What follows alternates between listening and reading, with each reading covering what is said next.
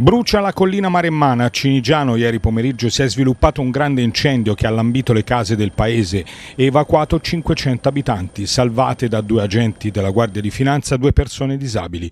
Il fronte delle fiamme si era inizialmente esteso verso Castiglioncello Bandini per poi rivolgersi sull'abitato di Cinigiano interessando agriturismi, allevamenti e abitazioni. Sul posto ieri pomeriggio sono intervenuti quattro elicotteri e due Canadair squadre VAB, oltre a una decina di squadre A e B da fuori provincia provincia di Grosseto per ai forestali e vigili del fuoco. Alle 23 di ieri sera l'incendio era ancora attivo con l'intervento di squadre dei vigili del fuoco provenienti dalla Toscana e anche da Parma e Bologna, circa 62 uomini.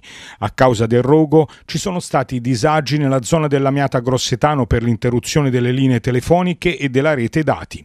Anche stamani avvertono dalla ASL Toscana Sud-Est, all'ospedale di Castel del Piano non è possibile eseguire esami radiologici, fare i prelievi e non si può usare internet. Stessa cosa per il call center di Arcidosso che risulta isolato e quindi il CUP, centro unico di prenotazione, non è raggiungibile.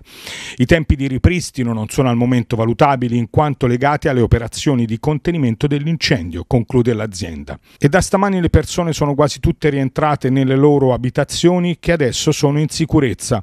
A dirlo la sindaca di Cinigiano Romina Sani si è trattato di un incendio vasto, arrivato al paese con violenza. Il primo pensiero, ha detto ancora, e obiettivo è stato proteggere la comunità.